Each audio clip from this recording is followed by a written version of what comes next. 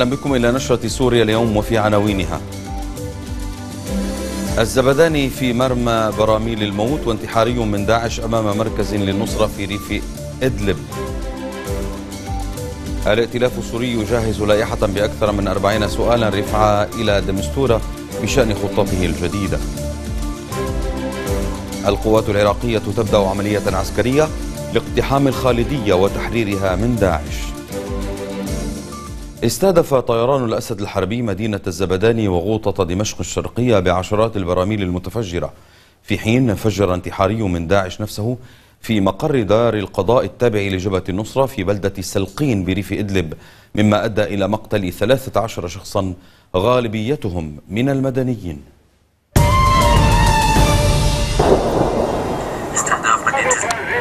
عقب تعليق المفاوضات التي تجري في تركيا بين حركة أحرار الشام والوفد الإيراني بعد الاختلاف على بند يتعلق بإطلاق سراح معتقلات لدى النظام السوري استهدفت مقاتلات الأسد بأكثر من 16 ضربة جوية مدينة الزبداني وغوطة دمشق الشرقية. في حين استهدف الطيران المروحي الأسدي بعشرة براميل متفجرة مدينة داريا في ريف العاصمة. يأتي ذلك في وقت تمكن الثوار من السيطرة على تلة قبر حشيش في جبل الأكراد في اللاذقية وسط اشتباكات عنيفة أدت إلى مقتل وجرح العشرات من كتائب الأسد وشبيحته واغتنام بعض الأسلحة والذخائر على جبهة قمة النبي يونس. وفي حمص قتل خمسة أشخاص وأصيب أكثر من 19 بحالات اختناق. جراء استهداف الأحياء الشمالية من مدينة الرستن بقذائف تحمل غازا ساما. رجح الأطباء أنه غاز ديكلور يأتي هذا عقب اشتباكات بين مقاتلي المعارضة وقوات النظام السوري على أطراف المدينة. وفيما سقط خمس قتلى وعشرات الجرحى إثر غارة لطيران الأسد الحربي على بلدة كفرنبل في جبل الزاوية في مدينة إدلب. قتل وجرح العشرات بينهم أطفال ونساء. إثر تفجير انتحاري من تنظيم داعش الإرهابي نفسه بدار قضاء جبهة النصرة بمدينة سلقين. من جانب آخر أكدت حركة أحرار الشام أن الكتيبة الأمنية التابعة لها اغتالت العميد الركن في الحرس الجمهوري السوري رئيف علي الحسن والمساعد أول أبو شاهين بالإضافة إلى خمسة من مرافقيهما وذلك باستهداف سيارتيهما في ساحة العباسيين في العاصمة دمشق. وبثت الحركة تسجيلا مصورا قالت إنه لعملية اغتيال وقالت إن العملية جاءت نصرة لمدينة الزبدان التي تشهد حملة عسكرية واسعة من قوات النظام ومسلحي حزب الله أدت إلى تهجير معظم سكانها. واليوم شيع حزب الله اثنين من عناصره قتلا في الزبداني وهما يوسف عماد محسن في بلدة الطيب قضاء مرجعيون ومحمد بلال إدريس في بلدة الريحان قضاء مرجعيون أيضا. أحيا ناشطون سوريون الذكرى الثانية لمجزرة الكيماوي التي ارتكبتها ميليشيات الأسد في ريف دمشق بمسيرة سلمية وزعوا خلالها كمامات بيضاء في شوارع العاصمة. لن يسامحكم أطفال الغوطة يوم القيامة. هذه العبارة ومثيلاتها كتبت على مئة كمامة بيضاء وزعت في شوارع دمشق كرمز لاستنشاق الموت وأحياء للذكرى الثانية لمجزرة الكيماوي التي ارتكبتها ميليشيات الأسد في الغوطة الشرقية بريف دمشق في آب 2013 أكد الناشطون أن إحياء ذكرى المجزرة سيتحول إلى تقليد سنوي إلى أن ينال القاتل عقابه وأن هكذا تحركات سلمية ستبقي روح الثورة الأولى في وقت طغى الطابع العسكري على مظاهرها. حملت هذه المسيرة ثلاث رسائل واحدة للنظام كإشارة إلى أن هذه المجزرة لن تنسى وستشكل دفعا للثورات. الثانية رسالة تضامن ودعم لأهل الغوطة. أما الثالثة فللمجتمع الدولي الذي يقف صامتا أمام كل هذه الانتهاكات. يذكر أن مدينة دمشق شهدت العديد من النشاطات السلمية المشابهة قام خلالها ناشطون بتوزيع قصاصات ورقية تحت أسماء حملات عديدة كحملة أنقذ البقية وحملة أنقذ حلب وحملة استنشاق الموت. في الذكرى الأولى للمجزرة وفي آخر الحملات وزعت ورود بيضاء مع رسائل على أبواب المنازل في دمشق تذكر بالأهداف الأولى للثورة السورية. تواصل الهيئة العامة للائتلاف الوطني لقوى الثورة والمعارضة السورية اجتماعها الطارئ في اسطنبول لليوم الثالث على التوالي وقد جهزت أكثر من أربعين سؤالا لرفعها إلى الموفد الأممي ستيفان دي مستورا بشأن خطته الجديدة لحل الأزمة السورية. خطة عمل المبعوث الدولي إلى سوريا ستيفن دي مستورا شكلت مدار بحث على طاولة الهيئة العامة للائتلاف الوطني لقوى الثورة والمعارضة السورية في اسطنبول التي واصلت اجتماعاتها لليوم الثاني لمناقشة الخطة وللنظر في الوثائق المعدة من قبل الهيئة السياسية التي اجتمعت على مدار أسبوع لبحثها وقابلت فريق ديمستورا وممثلي الولايات المتحدة وتركيا وكندا ودول الاتحاد الأوروبي. يعني الاجتماع طارئ أعتقد أنه معرف بنفسه لأنه في عندنا يعني خطة طارئة في خطة جديدة آه، أرسلت من الأمم المتحدة للائتلاف عبر الهيئة السياسية والهيئة الرئاسية. وهذه الخطة تتضمن يعني آه، نقاط آه، توحي الحقيقة بالخروج عن صيغة جنيف المتفق عليها في حزيران 2012 تتضمن بنود جديدة يجب دراستها بعناية وحذر واهتمام لأنها تحوي في بين يعني سطورها الحقيقة العديد من أقول يعني الألغام أو يعني النقاط الخطيرة آه، التي يجب أن تدرس ويجب أن لا يتم تجاوزها بسهولة. وكانت الهيئة السياسية للائتلاف قد أصدرت بيانا قبل أيام أكدت فيه أن خطة المبعوث الدولي لمستورة تفتقر إلى الآليات الواضحة وتتجاوز الإقرار بالتمثيل الشرعي لقوى الثورة والمعارضة السورية. وتركزت الملاحظة الثانية للبيان في أن الهدف المنشود من بيان جنيف واحد هو قرار مجلس الأمن 2118 القائم على الاتفاق على تشكيل هيئة الحكم الانتقالية بكامل الصلاحيات يضيع في طيات مسودة خطة ديمستورا المقترحة. وشددت الهيئة على أن أي عملية سياسية لا يمكن لها النجاح إلا إذا تمتعت بالنزاهة والحيادية في مصداقية التمثيل وابتعدت عن أي إملاء أو محاولة تصنيع مسبق وخارجي على حد تعبير البيان. وفي اليوم الثالث والأخير من اجتماعات اسطنبول يتوقع أن يصدر عن الهيئة بيان تحدد فيه موقفها من المشاركة في مجموعات العمل الأربع التي تضمنتها خطة عمل المبعوث الدولي والآليات المقترحة بشأنها. بدأت القوات العراقية عملية عسكرية لاقتحام الخالدية وتحريرها من داعش فيما يصوت البرلمان العراقي اليوم على مشروع الحرس الوطني. تتحرك القوات العراقية بشراسة للتصدي لتنظيم داعش الإرهابي خصوصا في محافظة الأنبار. حيث بدأت عملية عسكرية لاقتحام منطقة الخالدية مدعومة من طائرات التحالف الغربي الذي استهدف موقعا لداعش شرقي الرمادي وقتل أكثر من أربعين عنصرا إرهابيا. كما أحكمت القوات المشتركة السيطرة على محيط مدينة الرمادي وتطويقها من مختلف الجهات بالكامل وذلك بعد معارك أسفرت عن إبعاد عناصر داعش عن منطقة حصيبة الشرقية.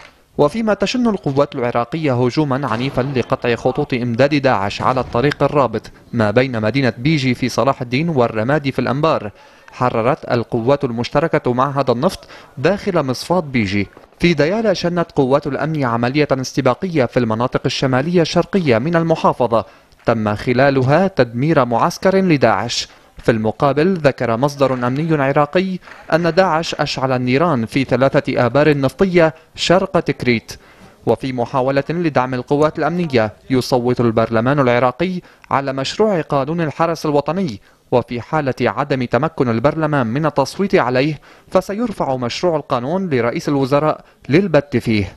بدورها جددت واشنطن استعدادها لتقديم الدعم الكامل للعراق من أجل تحرير أراضيه وذلك أثناء لقاء السفير الأمريكي لدى بغداد ستيوارت جونز برئيس مجلس النواب العراقي سليم الجبوري وجرى خلال اللقاء بحث آخر التطورات السياسية والأمنية في البلاد والتأكيد على ضرورة الإسراع بإقرار قانون الحرس الوطني ليكون نواة لمسك الأرض بعد تحريرها من داعش.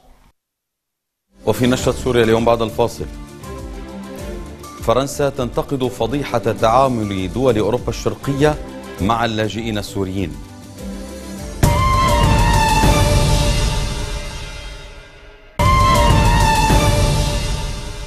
تفاصيل جديدة عن قضية شاحنة الموت وصاحبها اللبناني التي عثر بداخلها على جثث لاجئين متحللة في المجر. وفرنسا تصف بالفضيحة تعامل بعض دول أوروبا الشرقية مع أزمة اللاجئين. بدون أي تردد يمكن لهذا القطار في مقدونيا أن يسمى بقطار الأحلام فهو يعتبر أهم المحطات التي ينطلق منها المهاجرون في رحلة محفوفة بالمخاطر أملا في العبور إلى بقية الدول الأوروبية للوصول إلى حياة أفضل.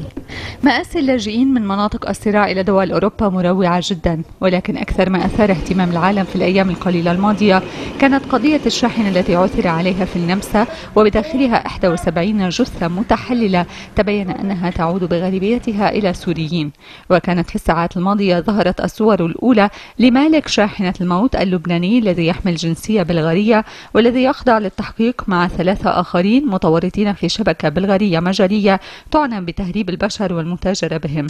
صاحب الشاحنة اللبناني تولى نقل اللاجئين في رحلة طويلة في اتجاه ألمانيا انطلاقا من الحدود الصربية المجرية وتبين أنه ترك الشاحنة إلى جانب الطريق بعد انبعاث رائحة الجثث المتعفنة منها الأوضاع الإنسانية المأساوية للاجئين دفعت وزير الخارجية الفرنسية لوران فابيوس إلى انتقاد تعامل بعض دول أوروبا الشرقية مع أزمة اللاجئين واصفا هذا الأسلوب بأنه فضيحة. وقال فابيوس أنه عندما يرى أن بعض الدول الأوروبية ولا سيما في الشرق لا توافق على حصص توزيع المهاجرين يجد ذلك مشينا داعيا المجر إلى إزالة الأسلاك الشائكة التي أقامتها على حدودها مع صربيا والتي قال أنها لا تحترم القيم الأوروبية المشتركة. مشاهد مؤلمة تتنقلها صحف العالم ومختلف وسائل الإعلام عن مآسي اللاجئين السوريين أثناء هروبهم من جحيم الحرب في بلادهم بحثا عن مستقبل أفضل. هذه المشاهد والصور جمعها معارضون سوريون في شريط فيديو مؤثر حمل عنوان رحلة الموت باتجاه الجنة.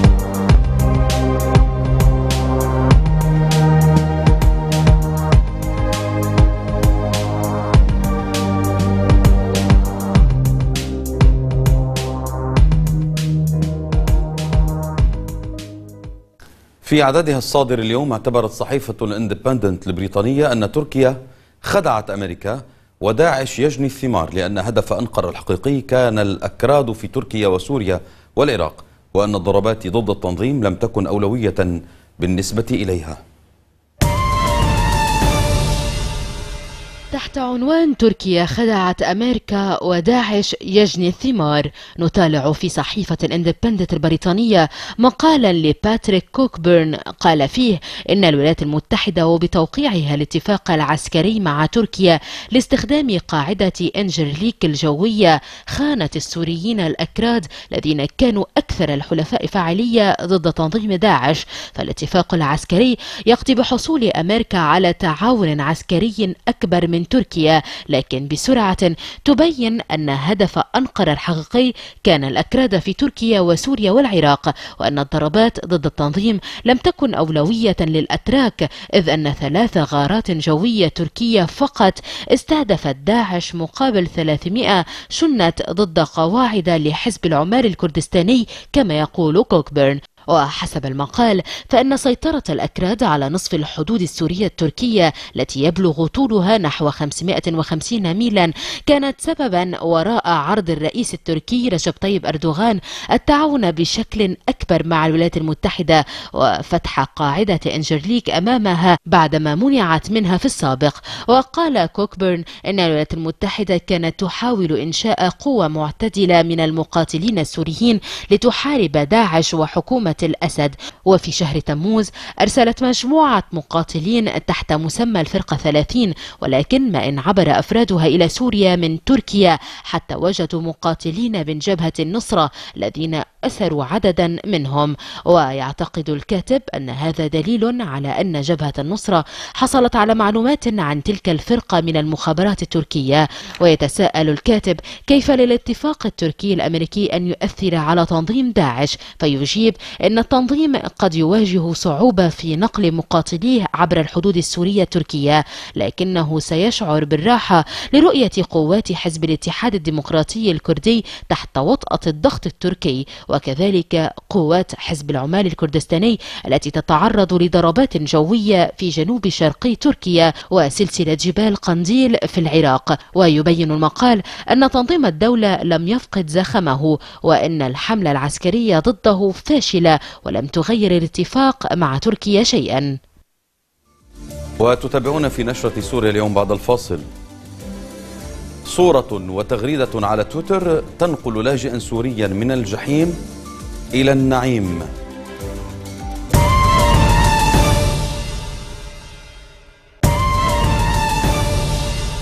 تغريدة على موقع تويتر قلبت رأسا على عقب حياة لاجئ سوري يمتهن بيع الأقلام في لبنان. لم تدرك هذه الطفلة أنها ستنال لقاء استسلامها للنوم على كتف والدها 77 ألف دولار. بدأت القصة بتداول صورة هذا اللاجئ السوري الفلسطيني وهو يحمل ابنته النائمة أثناء بيعه الأقلام في أحد شوارع بيروت. قساوة المشهد دفعت بناشط من إيسلندا يعيش في النرويج إلى إطلاق حملة Buy Pens عبر تويتر لجمع التبرعات لعبد الحليم العطار وابنته ريم.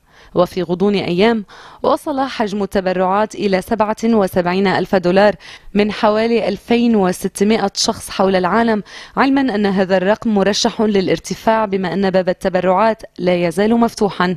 سيتم تسليم المبلغ للعطار على دفعات وقد أعلن فور علمه بقيمة التبرعات أنه يريد أن يساعد سوريين آخرين.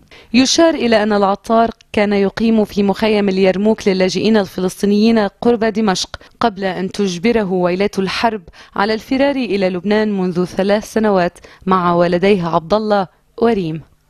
حلو. اشتعل موقع تويتر للتواصل الاجتماعي بحساب جديد انطلق قبل أيام مخصص للسخرية من أعمال تنظيم داعش الوحشية.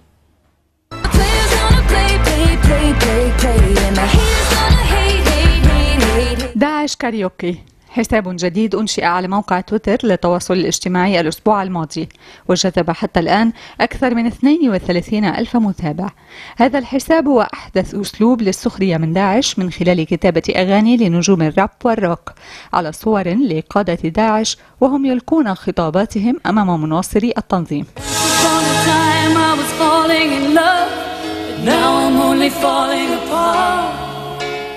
أغاني وليس قنابل هو الشعار الذي تتبناه الصفحة في انتقاد واضح لأفعال داعش الإجرامية من قتل وتفجير إلى جانب حظر التنظيم للأغاني والموسيقى في مدينة الرقة السورية وباقي المناطق التي يسيطر عليها.